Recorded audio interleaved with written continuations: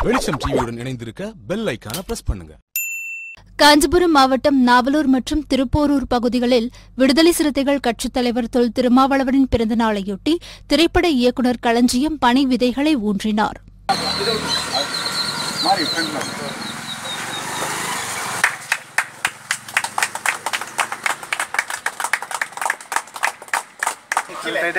Okay.